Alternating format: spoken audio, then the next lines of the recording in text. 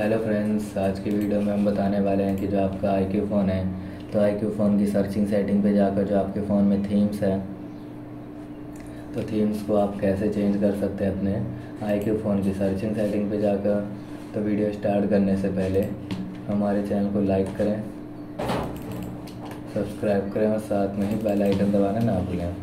तो video start कर लेते हैं। तो आप देख सकते हैं कि जो फ़ोन के आइकन्स हैं, आपके फ़ोन में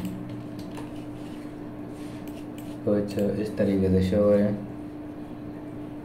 तो आपको स्वाइप करना है स्वाइप करते ही ऑल आइकन सब बने आएँगे फिर आपको सेटिंग्स आइकन पे क्लिक कर देना होगा।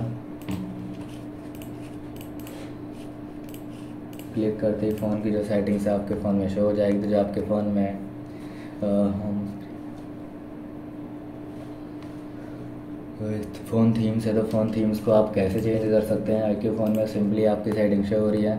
तो आपको सर्च करना है सेटिंग्स पे, क्लिक करते ही सेटिंग्स ओपन हो जाएगी। फिर जैसे आप सर्च करते हैं तो थीम्स को आपको सर्च कर लिया थीम्स थीम्स जैसे हमने सर्च कर लिया थीम सेटिंग्स आपके फ़ोन में शो हो जाएगी।